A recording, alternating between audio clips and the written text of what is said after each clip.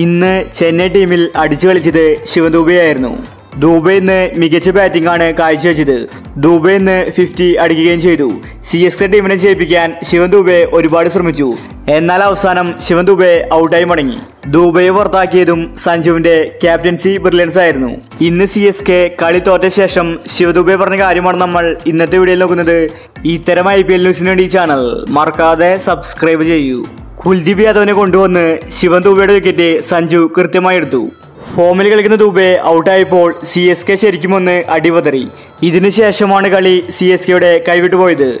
എന്തായാലും ഇന്ന് കളി തോറ്റ ശേഷം ശിവൻ ദുബെ പറഞ്ഞത് ഇങ്ങനെയായിരുന്നു. എനിക്ക് ഒരുപാട് നിരാശയുണ്ട്. കളി ഞാൻ ജയിപ്പിക്കുമെന്നായിരുന്നു കരുതിയത്. എന്നാൽ എനിക്കതിന് സാധിച്ചില്ല. സഞ്ജു മികച്ച ക്യാപ്റ്റൻസിയാണ് കാഴ്ചവെച്ചത്.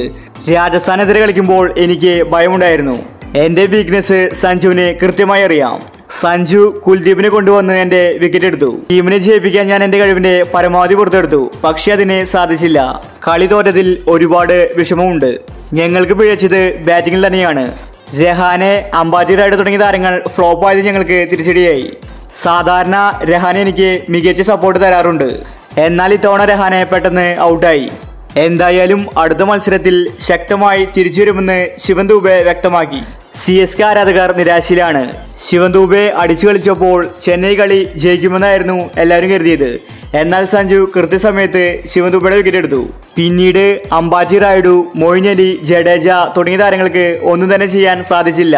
പേര് കേട്ട ബാറ്റ്സ്മാൻമാർ ക്രീസിലുണ്ടായിട്ടും ചെന്നൈക്ക് കളി ജയിക്കാൻ സാധിച്ചില്ല. രാജസ്ഥാൻ മികച്ച വിജയമാണെന്ന് സ്വന്തമാക്കിയത്.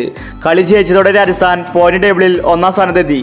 അപ്പോൾ ഇന്ന് സി എസ് കെ കളി തോൽക്കാനുണ്ടായ കാരണങ്ങൾ എന്തൊക്കെയാണ്? നിങ്ങളുടെ അഭിപ്രായങ്ങൾ താഴെ കമന്റ് ചെയ്യുക. ഇത്തരം ഐ പി എൽ ന്യൂസിന് വേണ്ടി ചാനൽ മറക്കാതെ സബ്സ്ക്രൈബ് ചെയ്യൂ.